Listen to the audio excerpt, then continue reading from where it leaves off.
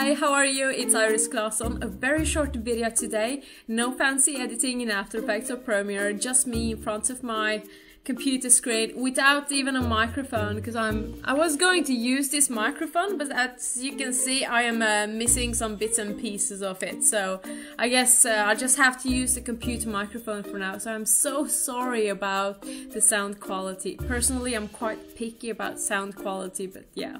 And no green screen. I love to experiment with that stuff but I might be really crap at it. I don't know. You tell me Anyway, what do I want to talk about today? I want to show you something really cool in portable class libraries. If you know me, you know that I quite like portable class libraries, and I don't want to get into the whole discussion about linked files, portable class libraries. We had this discussion on Twitter many times uh, last time, just a few days ago, and it's it's kind of a religious thing. You use what you feel most comfortable with and what fits the purpose best. But you should be aware of all the capabilities and limitations in both uh, solutions and also knowing that if you choose to combine the two, which I think a lot of developers will end up doing and that's my preferred way of working of actually combining the two. Portable class libraries have had some fantastic improvements lately, and one of those improvements you might not be aware of is that uh, you can now share XAML files. You can share views between a Windows Store application and Windows Phone WinRT application. Now, we could share XAML before, we could gonna share like half-ass user controls, like really slimmed down, and basically to the point where there was no purpose in even sharing that XAML, and even sharing XAML resources was kind of a pain in the ass, so it's a great improvement, believe me, it's a great improvement. I'm going to show you a quick example, and yeah, let's get started. I am not going to edit this video, so let's just get started. I'm going to start completely from scratch here. I'm inside the virtual machine and I'm going to create my very first project actually on this virtual machine. Now, if you're curious how I'm running the, how I am going to run the Windows Phone 8 emulator inside the virtual machine, you can check out some of the previous videos I've made. Now, let's get started. So the first thing we need to do is obviously add a class library. If you don't know where to find it, I always seem to be looking for it. Just use the, the search in the top right corner, hit Control plus E, and then you will write portable class library and you will find it. So I'm going to select that. That's going to be the first thing I add to uh, the solution. And here's what's important to notice. Make sure that you only select Windows 8.1 and Windows Phone 8.1. Do not select Silverlight anything or the .NET Framework 4.5.1 point long name.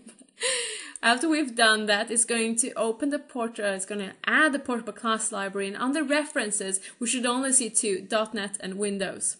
And I'm going to go ahead and delete the class file immediately because it's we're just not going to need it.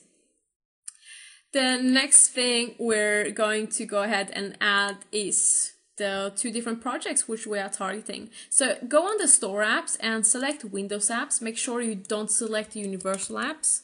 I'm gonna create a Windows 8 blank app. I'm gonna add that to the solution. And then I'm gonna go ahead and of course add a Windows Phone app as well under Windows Phone. And woohoo, we have a lot to choose between here. I do, however, know that the top one is the WinRT one, although it doesn't say so, but it is. So, I mean, that certainly sends out a very clear message uh, when it's at the at the very top of the list and doesn't have any other specifications around it. Maybe that is the only future. Who knows? Anyways, I love Silverlight. Silverlight is nice. We have the two projects now, but we're not sharing anything.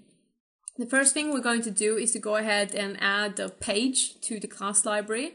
And if you added the correct references and targeted the right frameworks, you should be able to select a blank page here.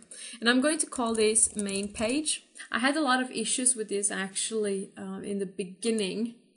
So try a couple of times if you're having issues. I had to repair Visual Studio to be able to make it work. And I have ReSharper installed on my, my dev machine, not the virtual machine I'm in, and it will actually give me errors and just highlight all the XAML in red because I have ReSharper installed.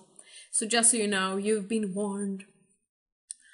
The next thing I'm going to add in this uh, library is actually I'm just going to add a base class. And I'm going to tell you in a second why uh, we're adding this. One thing we can't share in the portable class library is the, the constructor uh, inside the, the app XAML CS file, which calls the initialize component, which is let me zoom in here, which is this bit here. Because basically when it does this initialize component, there's a lot of like plumbing in the background that happens. It creates this static main method, which all applications have, which is where is a, it's the entry point of the application. And we need that, otherwise the application won't run. Well, theoretically, you could add this yourself, but because this is so nicely tied in with, with XAML and everything, I probably wouldn't want to mess around with that. I wasn't sure quite how to solve this, so I was lucky enough and to manage to steal the email address to one of the portable class library um, dev guys on the team, and I harassed him uh, to help me solve this problem. And the solution was so simple, I was so embarrassed not thinking of it because I, I wanted to share all this code that is below. We can actually share between the platforms but obviously I just wasn't able to share the app XAML which I thought I could be able to share but I wasn't able to. And he told me why don't you just create a base class in the portable class library and do that? And I was like oh my god you're so smart. You're so smart. That's why you work for Microsoft and I don't. No I'm just kidding. I'm smart too but he's certainly smarter than me. So I'm gonna make a base class here. I'm just gonna public class base something. And we need some uh, namespaces. I've just copy and pasted them because i'm i'm horrible at remembering uh, um, uh, references because i'm so used to using resharper so i'm just uh, a little bit damaged there. So it has to inherit from application like the um, app xaml cs i'm going to trim down this code a little bit and just um, just uh, not this here. I'm just remove some things that I know we're not going to need. I'm going to start off in the Windows 8 code because it's already quite trimmed down. And some of the things I'm just going to remove is, of course, the um, all the comments. And look, Austin is online. Awesome. I got to remember to uh, turn off uh, Skype when I'm doing recordings. So our navigation failed, we know we're going to succeed. We don't need our navigation fail. Everything I do just just works. All right, so, okay. Trim away this code, uh, trim away this code. And that's it. Okay. I'm gonna show you in a minute what I copied, because I know I'm going like fast paced. So just any everything below the constructor I've just copied and removed comments just because I I'm a little bit OCD about it. I just hate comments generally, unless they add a lot of value. So I'm going to go to the base class and I'm just going to go in and paste it all there. And with any luck, this should compile fine. So I'm just going to build, build, build, build. Yay! One succeeded! Awesome! The next thing we're going to do is to go ahead and add a reference to the port, uh, portable class library from the Windows 8 and the Windows Phone project. Add reference, class library. They're tiny, tiny little checkboxes. Tiny, tiny. After I've done that, I have to go in in here. And again, I'm going to remove everything that we're not using. Let me just go ahead and there. And it's going to inherit from the base class.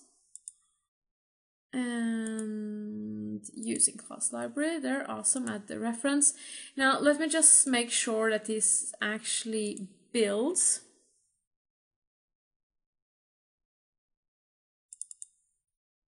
All right. Oh yeah, that's of course. Uh, I need to make sure that it does that in the XAML page as well.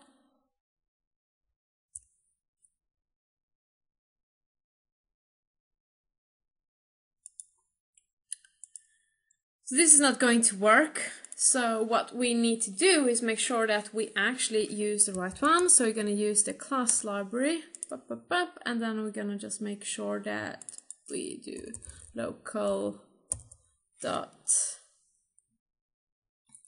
base and let's see if that now works. Dun, dun, dun, it's a little bit slow. Yay, it works. Awesome. Okay. So I'm just going to go ahead and copy this and make sure I do the exact same thing in the, um, the Windows application.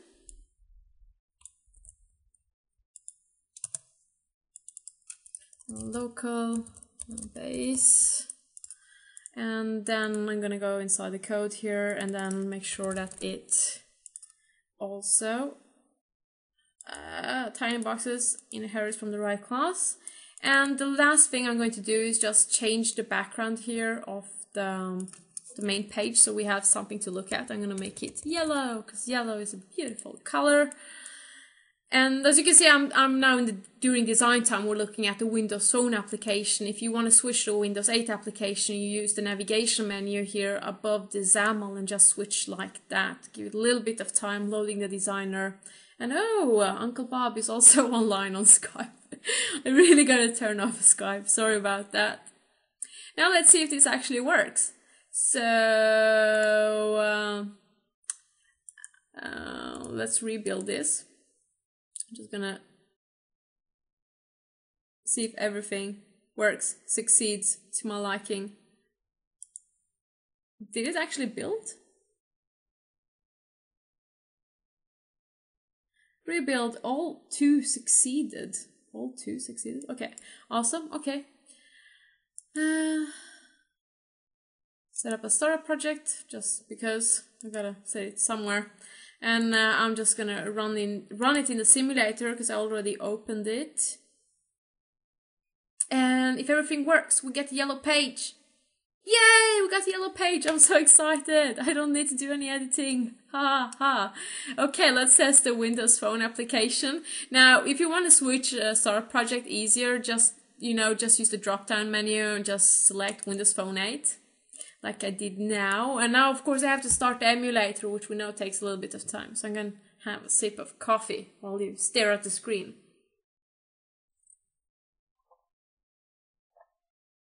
Coffee is cold. Come on, come on, give me a yellow page, give me a yellow page. That's blue, but that's the start screen, so give me... Deploy started, things are happening, files are being copied, deployment is complete, and we have a yellow page! Ha! It works! So that, my dearest, is how you uh, how you share a main page or how you share a XAML page like a boss in a portable class library.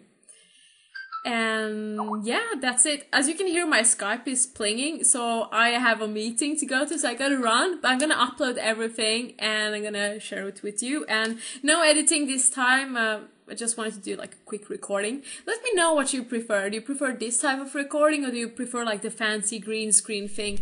I need some help because I'm experimenting. Um, yeah, let me know what you like, what you want. Ciao. So take care, have fun, and I've already said goodbye, so bye.